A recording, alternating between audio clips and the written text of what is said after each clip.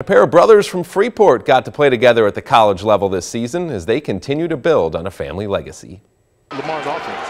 There's the talented freshman Deion McShane. And Vance McShane's brother as well. Here we go. One McShane wasn't enough, so Northern Iowa added a second. Deion and Vance are reunited on the football field for the first time since 2015.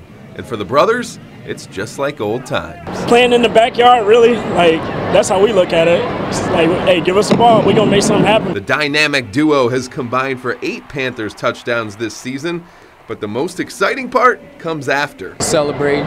How we always be celebrating in the end zone. They're grateful to share the field again, but all their success doesn't come without work. We we pray before every game. Um, I, I love doing that. I love playing with my little brother. It's like, you know, I always got somebody to count on for sure. With a family of nine boys, there's always someone to give some football advice, like their older brother, former Western Illinois standout Steve McShane.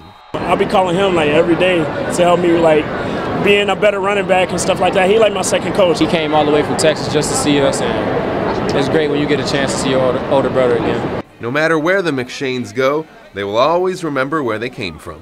Shout out 815, man. Uh, we representing. We're gonna uh, put on for everybody. You know, shout out 815. We got to throw it to pretzels. Ah. Pretzel Jamia Green for shooting and editing this story. Both Deion and Vance will take the field for the Panthers again next season.